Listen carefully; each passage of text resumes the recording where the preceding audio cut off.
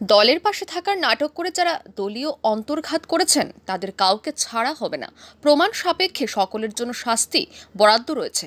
ভারতীয় জনতা পার্টি চুয়াল্লিশতম প্রতিষ্ঠা দিবসের কর্মসূচির অঙ্গ হিসেবে সামাজিক ন্যায় সপ্তাহে আয়োজিত এক রক্তদান শিবিরে উপস্থিত হয়ে কার্যকর্তাদের সাথে আলোচনায় এমনই করা বার্তা দিলেন প্রদেশ সাধারণ সম্পাদিকা পাপিয়া দত্ত। বিলোনিয়া মণ্ডলের উদ্যোগে Belonia cinema hall Chowmani Abul Kalam Azad community হলে রবিবার অনুষ্ঠিত হয় এই রক্ত রক্তদান শিবিরটি। উপস্থিত ছিলেন মণ্ডল সভাপতি গৌতম সরকার, বিজেপি রাজ্য কমিটির সদস্য নিখিল চন্দ্র গোপ, বিধায়িকা স্বপ্না মজুমদার, প্রদেশ বিজেপির সাধারণ সম্পাদিকা পাপিয়া দত্ত সহ অন্যান্য বিশিষ্ট নেতৃত্বরা। উপস্থিত অতিথিদের বরণ করে নেওয়ার পর শ্যামাপ্রসাদ মুখার্জি ও পণ্ডিত দীনদয়াল উপাধ্যায়ের প্রতিকৃতিতে পুষ্পস্তবক অর্পণ করে প্রদীপ প্রজ্বলনের মধ্য দিয়ে সূচনা করা হয় এই রক্তদান শিবিরের। স্বেচ্ছায় শিবিরে উপস্থিত রক্তদাতাদের উৎসাহিত করে বাকিদেরও রক্তদানে এগিয়ে আসার জন্য আহ্বান রাখেন উপস্থিত নেতৃত্বরা। একাশি জন মানুষ এদিন রক্তদান করেছেন বলে জানিয়েছেন পাপিয়া দত্ত। ঠিকভাবে সেভাবে হয়ে উঠছিল না। একটা রক্তের ক্রাইসিস সব দেখা দিয়েছিল। তখন উনি সমগ্র রাজ্যবাসীর উদ্দেশ্যে একটা আহ্বান রেখেছিলেন যে আমরা যেন প্রত্যেকে যেন এই মহতি কাজে আবার আমরা এগিয়ে আসি।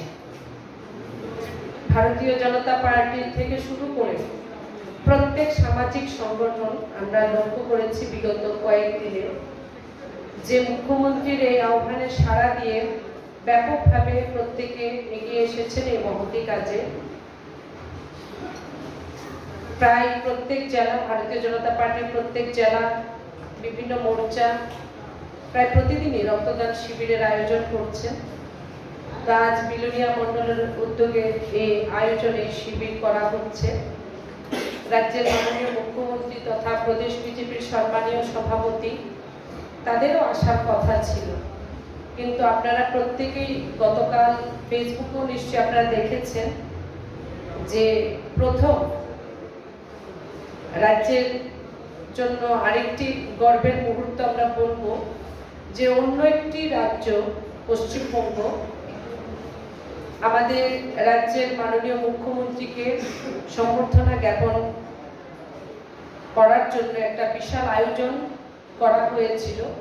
তো সেখানে আমাদের মুখ্যমন্ত্রী তথা প্রদেশ বিজেপির সভাপতি তাদের সেখানে উপস্থিত থাকতে হয়েছে।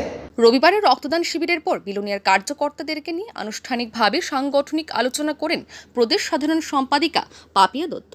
বিলোনিয়ার নির্বাচনী পরাজয় এবং বিজেপির প্রত্যাবর্তন নিয়ে স্পষ্ট ভাষায় বক্তব্য রাখেন তিনি। দল থেকে যারা দল বিরোধী কাজ করেছেন, পুঙ্খানুপুঙ্খভাবে প্রমাণ সাপেক্ষে তাদের কুকীর্তি কেন্দ্রীয় নেতৃত্বের গোচরে রয়েছে বলেও জানান তিনি।